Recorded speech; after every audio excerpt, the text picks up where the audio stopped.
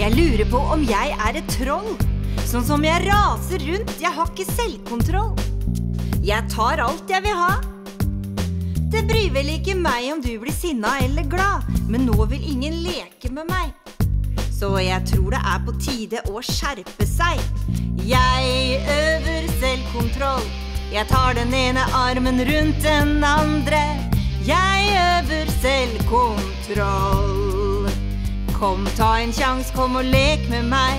Kom, ta en sjans, kom og lek med meg. Nå har jeg full kontroll. Jeg tuller fælt, men jeg er ikke et troll. Hvis du har noe jeg vil ha, så kan jeg spørre og håpe at du svarer ja. Men hvis du svarer nei, så har jeg selvkontroll nok til å roe meg. Så ingen løper sin vei. For nå syns folk at jeg er helt ok. Jeg øver selvkontroll. Jeg tar den ene armen rundt den andre. Jeg øver selvkontroll. Kom, ta en sjanse, kom og lek med meg. Kom, ta en sjanse, kom og lek med meg. Gjett om jeg er glad. Lekevenner, det er bra å ha.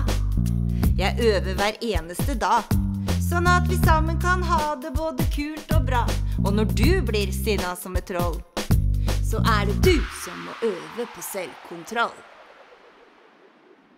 Og si jeg øver selvkontroll.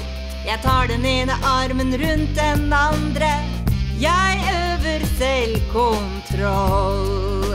Kom, ta en sjans, kom og lek med meg. Kom, ta en sjans, kom og lek med meg.